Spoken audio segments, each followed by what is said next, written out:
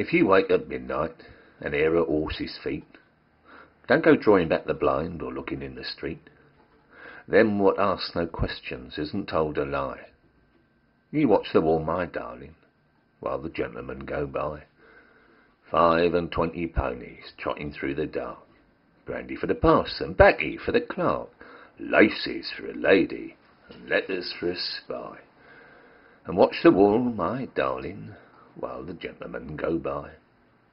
Running round the woodlump, if you chance to find little barrows roped and tied, all full of brandy wine. Don't you shout to come and look, nor use them for your play. Now put the brushwood back again, and they'll be gone next day.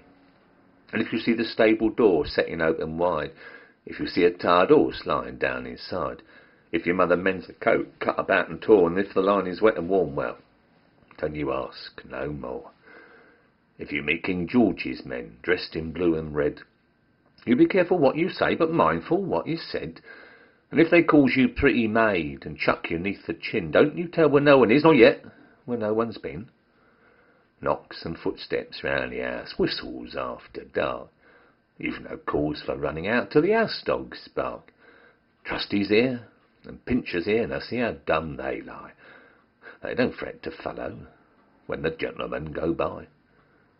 If you do as you've been told, likely there's a chance you'll be given a dainty doll all the way from France, with a cap of Valenciennes and a velvet hood.